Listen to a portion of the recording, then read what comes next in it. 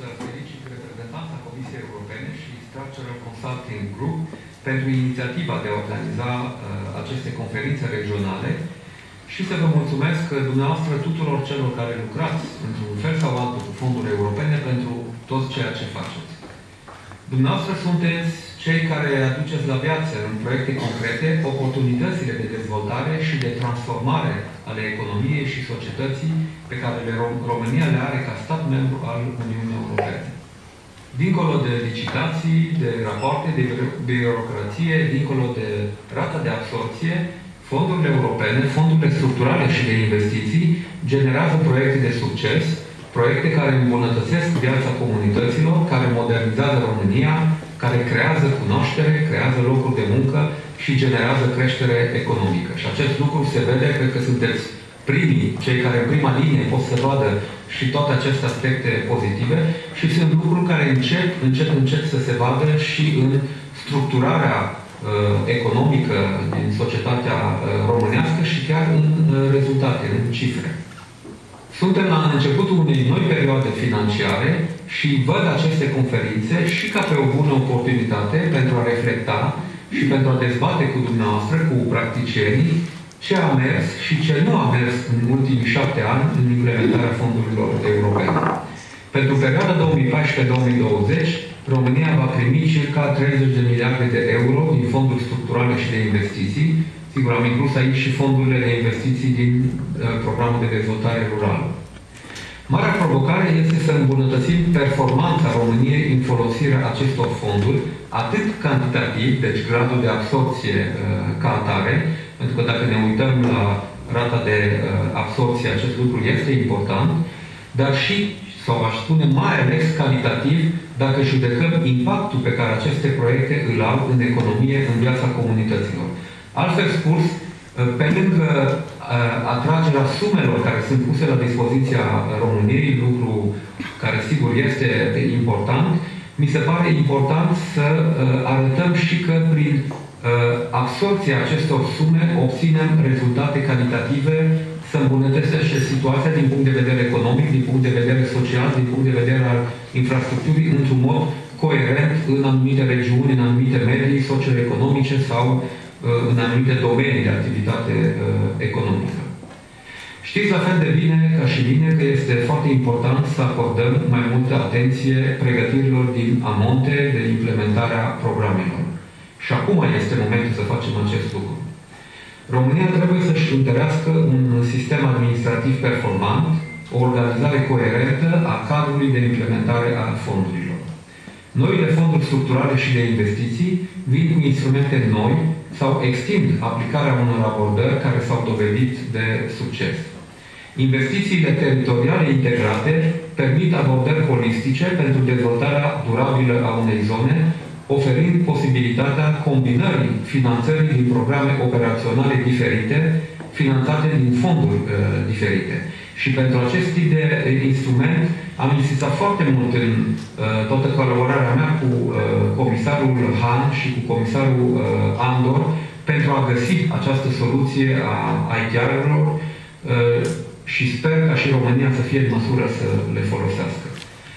Pentru zone precum Delta Dunării, spre exemplu, unde dezvoltarea durabilă trebuie să aibă în vedere și aspecte care țin de crearea de locuri de muncă sau de activitatea specifică din Delta, care este pescuită, pescuitul, de protejarea mediului, a biodiversității, dar și de dezvoltare uh, rurală, de turismul rural, de infrastructură, de sănătate, de uh, educație, astfel de abordări integrate cu finanțări din mai multe fonduri pot oferi soluții optime. Pe de o parte, acest nou instrument permite crearea unei sinergii între sursele de finanțare, pe de alta, ne asigurăm că nu se finanțează proiecte disparate sau uh, divergențe și că este o coerență în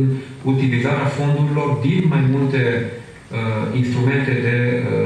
finanțare spre un proiect strategic de uh, dezvoltare a unei regiuni. Pe de altă parte, abordarea de tip lider prin uh, crearea și mobilizarea grupurilor de acțiune locală,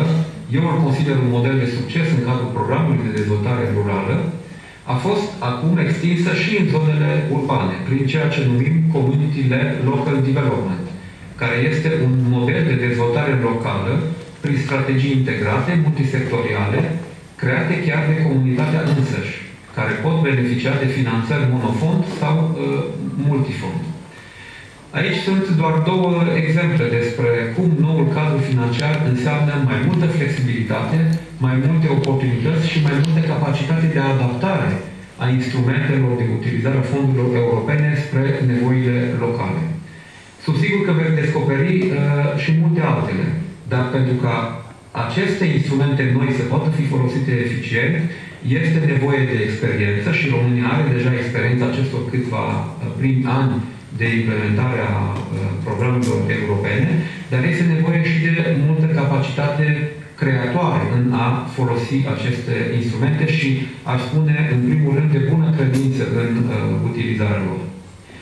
Există uh, un efort de simplificare și de transparentizare la nivel european, dar cred că acest efort trebuie să fie făcut și în țară, sau aș spune în primul rând în țară. Un acord de parteneriat clar, bazat pe strategii sectoriale și priorități limpezi,